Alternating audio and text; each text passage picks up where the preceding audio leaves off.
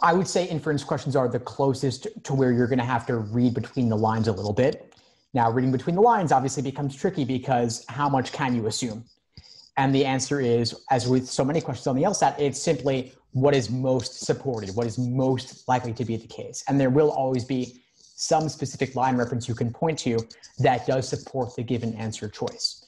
But if they're asking a question as broad as which one of the following is the author most likely to agree with, there are many things the author is likely to agree with, just like any individual has plenty of things they would likely agree with on all sorts of different matters. And so obviously it's narrowed to the 500 words or so that you'll see in the passage, but you've got to hunt in and look for those things. If you can't prephrase because the question's as, as general as what I just laid out, then your alternative is process of elimination. So find the four things that are not supported at all and then the one remaining choice, there will likely be some support somewhere in the passage. And this is where maybe Control F, Command F could come into play.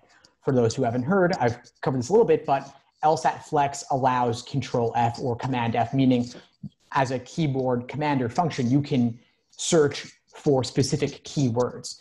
I think the usefulness of this strategy is overplayed a little bit. I'm not sure how helpful that always will be in practice, but that is one of those other things you might experiment with that could save you a little bit of time when you're simply hunting for one out of five choices to find that key support there.